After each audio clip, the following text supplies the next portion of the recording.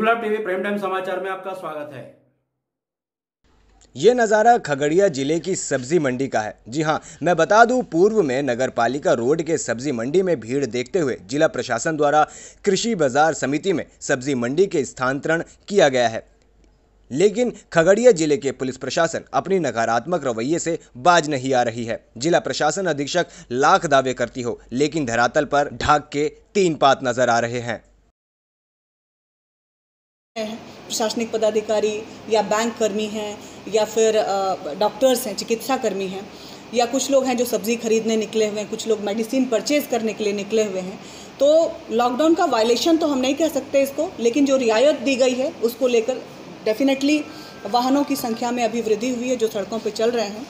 हमारा अनुरोध यही है लोगों से कि अनावश्यक घर से ना निकलें और जो दवा खरीदने के लिए जो छूट दी गई है या फल या सब्ज़ियाँ और दूध खरीदने के लिए जो छूट दी गई है, उसका अनावश्यक उपयोग ना करें। उसको बाहर निकलने के लिए पास के रूप में उपयोग ना करें।